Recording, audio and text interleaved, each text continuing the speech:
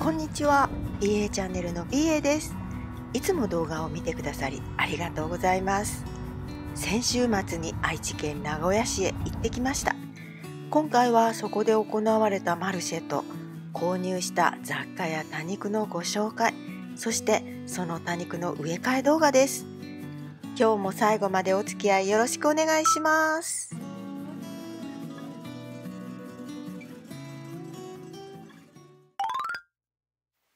ここ久屋大通公園フラリエでの多肉と緑のマルシェは毎年春と秋2回行われています。私は秋にしか行ったことがないのですがハロウィンが近いこともあって今年もその飾り付けが可愛かったです。以前の多肉と緑のマルシェで購入してきた植木鉢や雑貨です。一番古いものは4年前。今も我が家で大活躍しています多肉を植える可愛い植木鉢が欲しくてでも近くにはそういうのを扱っているお店が見つからなくてたまたま名古屋を訪れている時に開催されていたマルシェに出会ってずっと欲しかったこれらの植木鉢に出会った時とっても嬉しかったのを覚えています。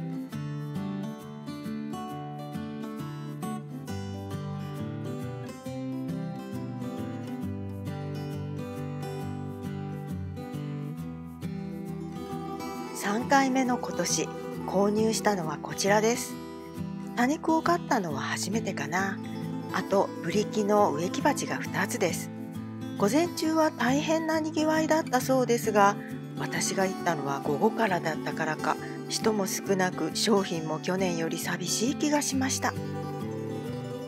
ちなみに初めて行った時2019年にはこんなのを買っています。去年2020年のお買い物はこちら。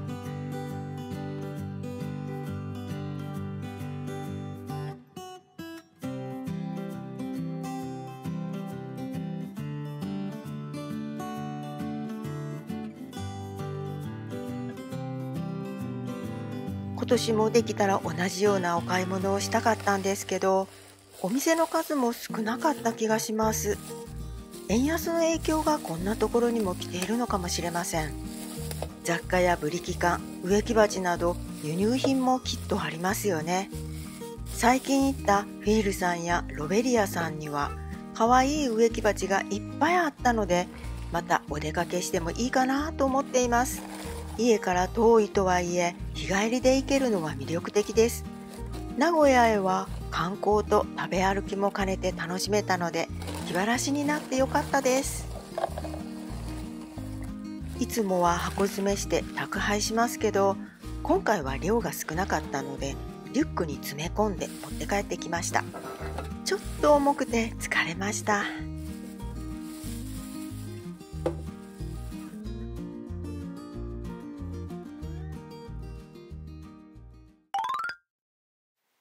こからは買ってきたこちらの多肉3鉢を植え替えしていきます。ちょうどサイズがいい鉢が3つ見つかりました。少し深めなので鉢底石はそこそこ入れています。土はいつものブレンド土です。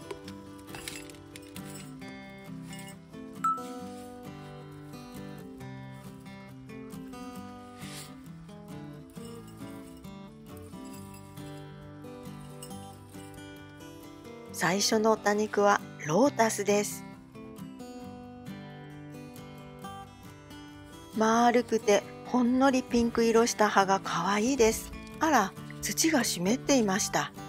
植え替えする時は乾いている方が根をほぐしやすいのですけど土の様子が私が使っている土と全然違うのが気になります。季節はこれから気温が下がって秋へ向かう10月。土を崩しながらも迷いましたが思い切って植え替えすることにします。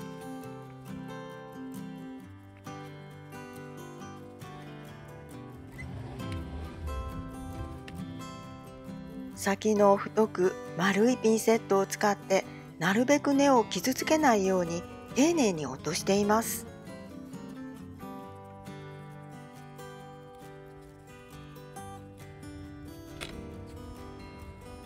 このくらい落としました。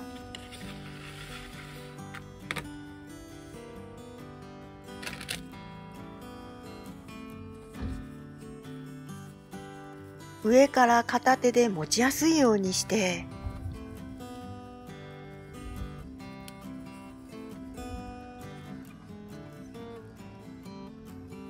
土を隙間から流し込んでいきます。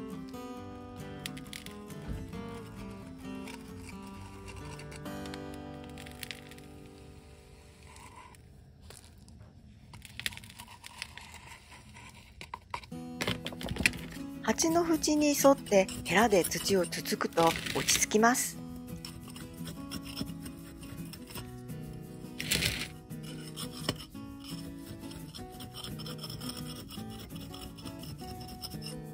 最後は苗の高さを調節して足りなかったら土を追加して鉢をトントン叩くようにすると土が落ち着いてきます。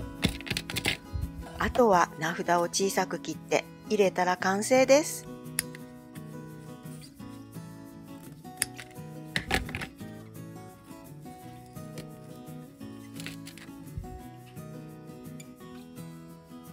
2つ目はパープリムグリーンギルバ。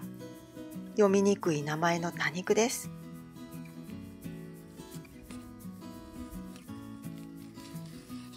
これも土が濡れています。今日の植え替えは確認してからにすればよかったですかね。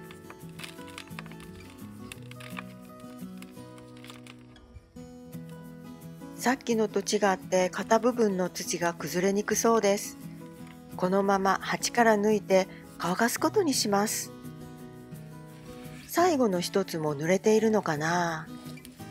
あ、これは乾いてます。ライラックミストです。この子は植え替えしようと思います。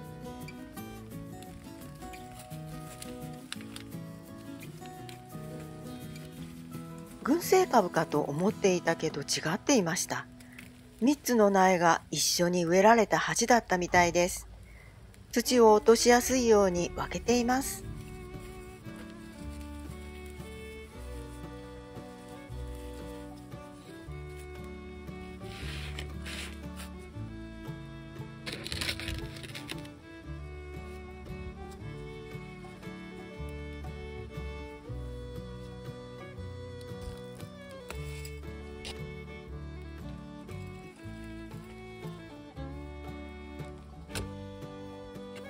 傾いている苗はピンセットなどで起こして持ち直しその根元に土を入れると安定します。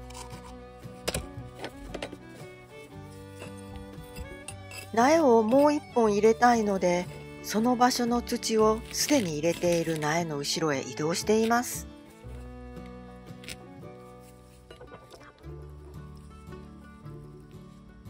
3つの苗の高さを調節しながら再度土の追加です。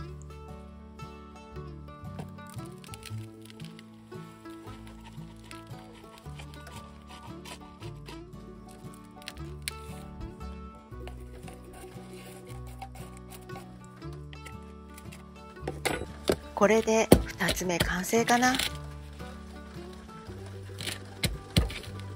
この苗が傾いているのが気になりますいえいいんです。傾いてても。